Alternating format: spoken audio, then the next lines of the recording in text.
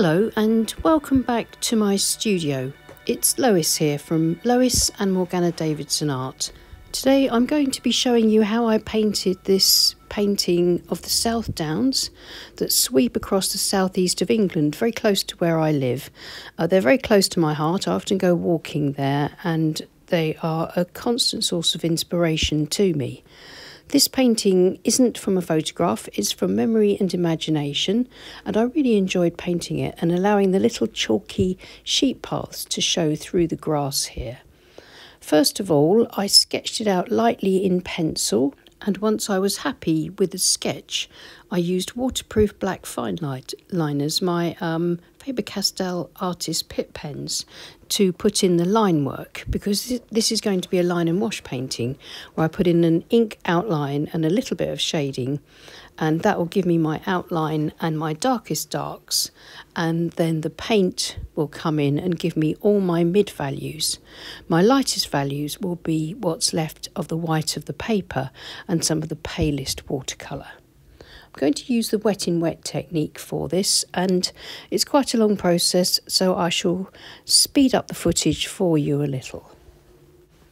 I'm going to start off by painting in the sky with clean water and using the wet in wet technique and a large wash brush which is a size 20 Escoda Ultimo synthetic mop. I shall just put in a nice pale sort of summer sky with cobalt blue and a touch of ultramarine blue keeping it nice and pale, allowing the white of the paper to show through for clouds.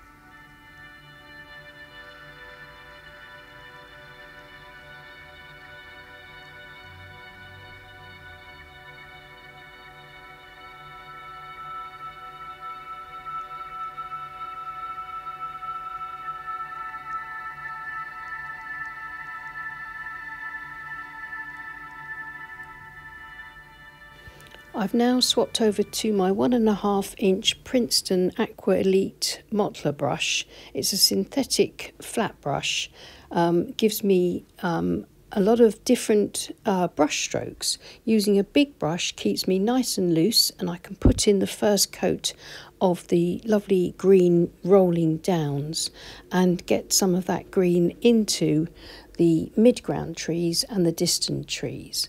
I'm using sap green, which has got a little bit of uh, burnt sienna into it just to make it a bit more earthy and then I can add a bit more burnt sienna and some perylene green to it to darken it in places.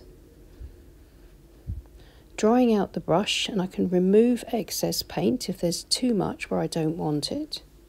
You can see here I've dabbed some perylene green into that green mix to make it nice and dark. So I shall continue to work across the scene, introducing the green using the Mottler brush um, just to build up my first layer.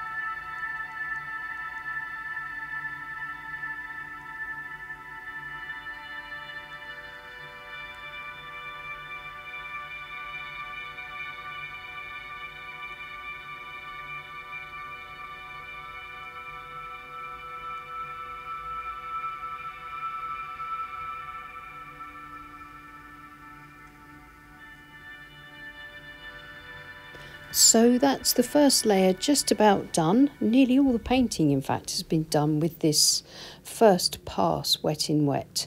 I'm now using my palette knife to scrape through the rich um, mid-value paint and this creates the suggestion of the chalky um, sheep paths that are worn into the hillsides and are such a distinctive feature of this part of the world. So now I'm going to go and make a cup of coffee and allow this all to dry completely. And now that it's all completely dry, I'm going to take a small calligraphy brush, but you can use any small brush with a good point that you like using, anything that can hold a fair amount of paint. And I'm just going to put a little bit more detail onto the trees using a stronger mix of paint dotting and dashing it here and there, particularly around the edges of the canopy. I'm using sap green with some perylene green, a bit of burnt sienna in places, and maybe a touch, a touch of Payne's grey here and there to darken it. So I'm building up shape and form in these nearer trees.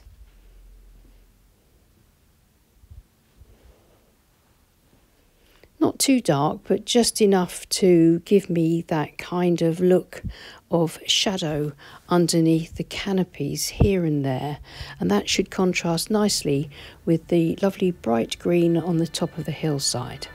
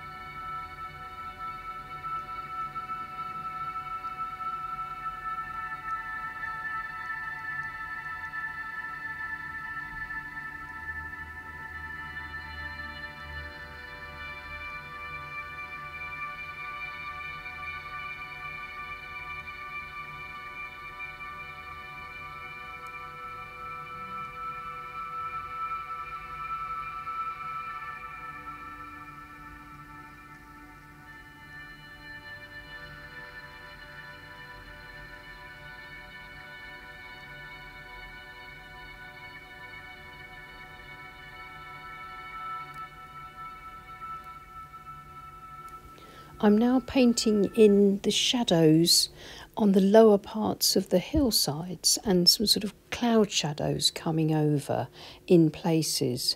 So I'm just going to paint on either side of the sort of sheep paths and I'm using sap green mixed with perylene green and a touch of Payne's grey and a little bit of burnt sienna to sort of warm it up a bit. The brush I'm using is an Escoda Perla brush, a synthetic size 14 round brush. I'm trying to keep it sort of darker towards the bottom of the hills and then lightening it up a little bit as we go higher up. And then I'm going to be leaving the tops of the hills the way they are from the original wash.